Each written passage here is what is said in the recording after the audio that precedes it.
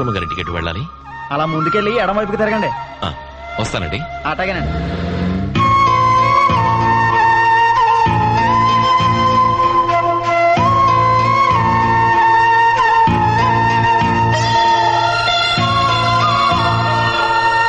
ఈ తులసి మొక్క ఎందుకు నాన్న?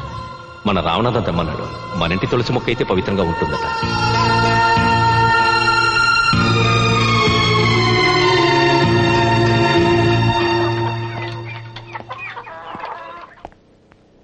ఎవరు కావాలండి? ఇక్కడ రాజేశ్వరమ్మ గారని. అమ్మ కోసమా? రండి.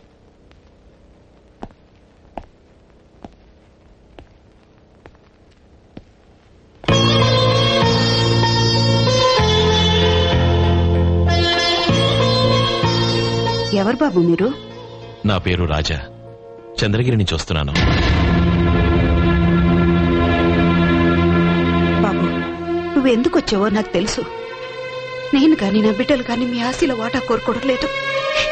దయచేసి మా మానని మమ్మల్ని వదిలేయండి. అయ్యయ్యో మిమ్మల్ని భయపెట్టడానికో బాధ పెట్టడానికో నేను ఇక్కడికి రాలేదండి. చనిపోయే ముందు నాన్నగారు అన్నీ చెప్పారు.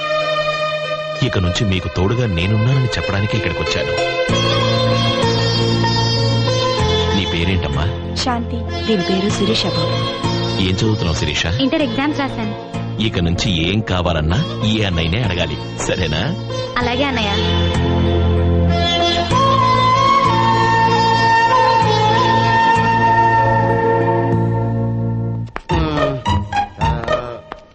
నువ్వేం చేస్తావో నాకు తెలియదు మీ అమ్మాయినా? ఆ, మా అమ్మాయిని బాబ్జీకి చెలగని పెళ్ళి చేయాలి. ఇది చేసేవనుకో చచ్చి కట్టుకుని పుడతాను. రెండోది ఎందుకులేండి? యాక్చువల్గా మనం రిహార్సల్ ఆపేసి మీటింగ్ లెట్టారు శిరోమణి గారు చూసారంటే సిరసలు బయలుపోతాయి శిరోమణి సంగతి నేను చూసుకుంటాను గానీ నీకు మంచి పెళ్ళి సంబంధం చూశాను. నాకా.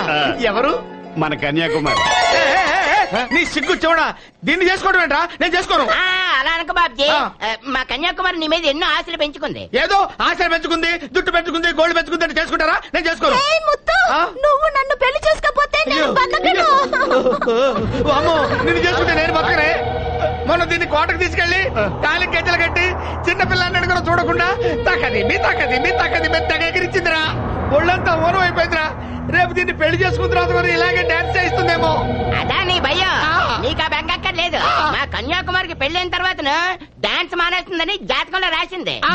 ఆ, నువ్వు గనక నా మాట విన్నావనుకో నాకున్న కోట మొత్తం రాసి ఇచ్చేస్తా. నిజంగానా? నిజంగానే. బాజీ తంతే బూర్లు బుట్లో పడ్డావు. పెళ్ళైన తర్వాత దీన్ని పిచ్చి తగ్గుద్దా? డెఫినెట్గా తగ్గుద్ది. ఆ. నీ మీద ఉంటాడు పెళ్ళి కాకుండా అల్లుడంట పెట్టి నేను నీ ఇంటి అల్లుడిని కావాలంటే ఆ. నీ కోట యొక్క డాక్యుమెంట్ తెచ్చి నాకు ఇవ్వాలి. అట్టాగే. మొత్తం డాక్యుమెంట్స్ అన్ని నీ చేతిలో పెట్టాక మా కన్య నీకు ఇచ్చి కట్టి పెట్టేస్తాను. Thank you, మామ. ఆ, డాక్యుమెంట్ ఒరిజినల్ కదండి?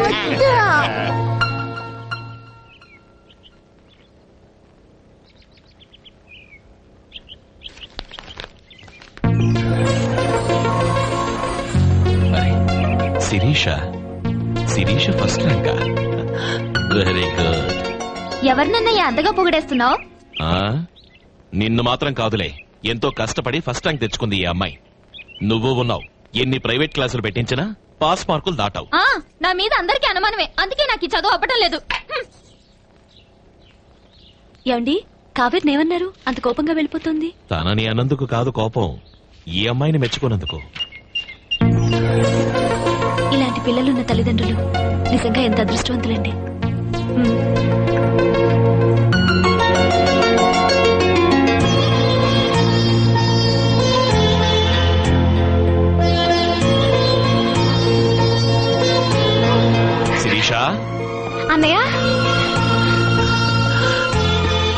కంగ్రాచులేషన్స్ అమ్మా. థ్యాంక్స్ అన్నయ్య. పేపర్లో నీ ఫోటో చూడగానే ఎంత సంతోషపడ్డానో చెప్పలేను. ముందు స్వీట్ తీసుకో.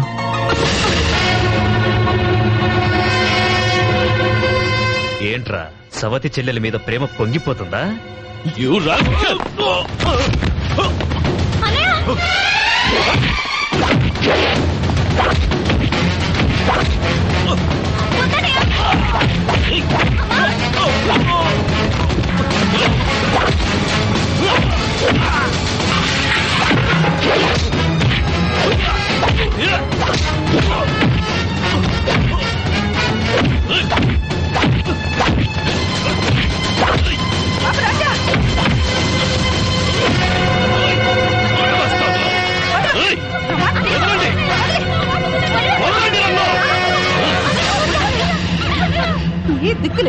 మమ్మల్ని వీధిలోకి లాగద్దయ్యా. అది కాదమ్మా ఈ రాస్కెల్. నువ్వు ఇంకేం చెప్పొద్దు. ఏ సహాయం చేయకపోయినా పర్వాలేదు. మా బ్రతికేదో మమ్మల్ని బతకని. ఆ ముసలోడు సత్యం ముందు వీళ్ళకి కాపలా కుక్కగా ఉండమని నిన్ను పంపించాడని నాకు తెలుసురా. నీకంత సీన్ లేదు. ఈ ఊరు నాది ఈ ఏరియా నాది. ఇంకోసారి నా పర్మిషన్ లేకుండా నువ్వు ఇక్కడ కనిపించావో తరువాత నీ వాళ్ళు నీకు కనిపించరు. గెట్ అవుట్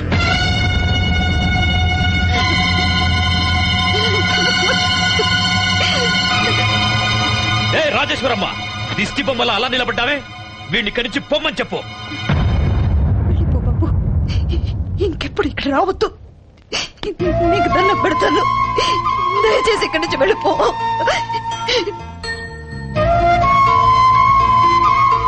పోరా కాపల కుక్క.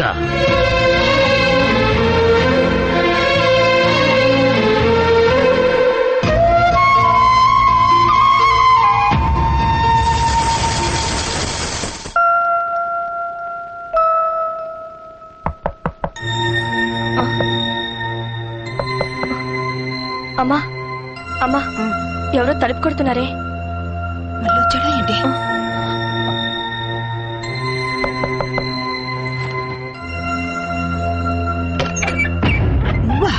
మళ్ళీ ఎందుకు వచ్చావు బాబు? మిమ్మల్ని ఇక్కడ ఒంటరిగా వదిలి వెడితే నాకక్కడ మనశ్శాంతి ఎలా ఉంటుందమ్మా?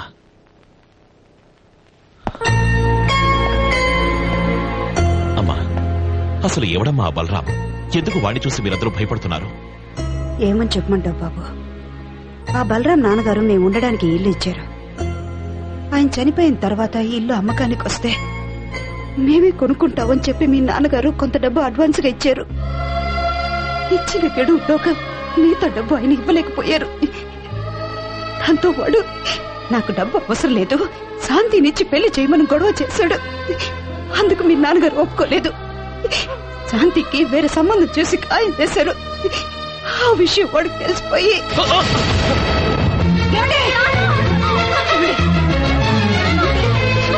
రే ముసల్లక్క వయసుడిపోయిన వాడివి కుక్కలా ఇంట్లో పడుండక బెదవేషాలేస్తావా దీన్ని చేసుకోవాలని నేను ఆశపడుతుంటే వేరే సంబంధం చూడడానికి నీకెన్ని గుండెలరా?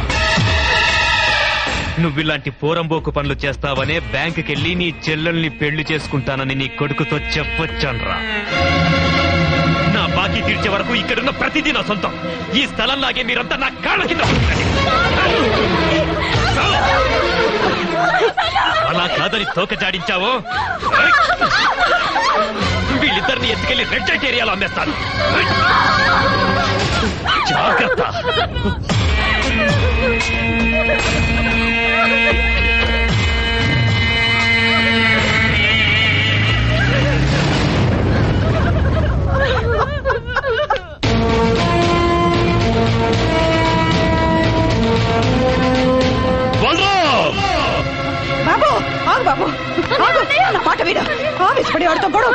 వదలంటమ్మా నన్ను. మా నాన్నగారి మీద చేసిన వాడిని నరికి పారేస్తాను నా మాట విను. వాడి గురించి నీకు తెలియదు వాడు ఎంతకైనా తెగిస్తాడు. నీ మీద ఉన్న కోపంతో మా గురించి మీ ఇంట్లో చెప్తే మీ కుటుంబ పరువు పోతుందయ్యా మా వల్ల మీరు ఇబ్బందులు పడద్దు. మా కర్మ ఎలాగో అలాగే జరగని మీరేం భయపడకండి. ఇక పైన వాడి నీడ కూడా మీ మీద పడదు. నాన్నగారు నిర్ణయించిన ఆ అబ్బాయితోనే శాంతి పెళ్ళి జరిగి తీరుతుంది.